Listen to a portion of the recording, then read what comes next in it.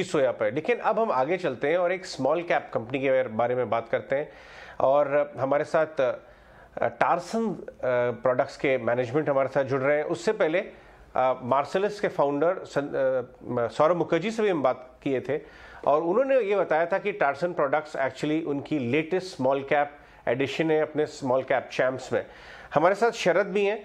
हम अभी टारसन के मैनेजमेंट के पास जाएँगे बट शरद वेरी क्विकली ज़रा हमारे व्यूअर्स के लिए बताइए टारसन प्रोडक्ट्स किस सेक्टर की कंपनी है क्या करती है थोड़ा सा बैकग्राउंड है जी, बिल्कुल। तो कंपनी स्मॉल कैप सेगमेंट में है और भारत की तीसरे सबसे बड़ी लैबवेयर कंपनी है, जो आपके बॉटल्स देखते हैं सेंट्रीफ्यूगल वेयर देखते हैं सेल कल्चर देखते हैं, इस पर डील करती है कंपनी एक्सपोर्ट्स भी लगभग 33 परसेंट का है। Health care pharma sector biotech में भी इनका जो है इंपॉर्टेंट एक्सपोजर है और इंपॉर्टेंट कंपनीज़ गोदरेज ले लीजिए नेस्ले ले लीजिए सन फार्मा पतंजलि ये उनके क्लाइंट्स हैं।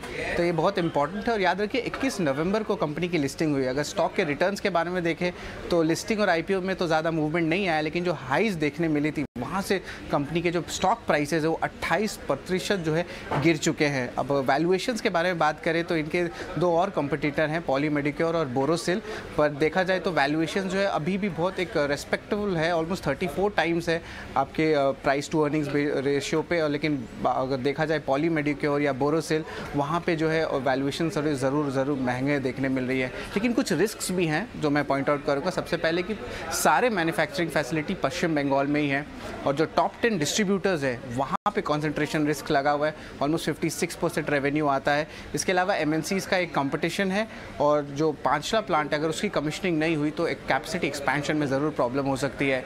एम्बिड ने भी जो है इनिशिएट किया है बाई रेटिंग के साथ जिसमें टारगेट प्राइस नौ सौ साठ रुपये थैंक यू वेरी मच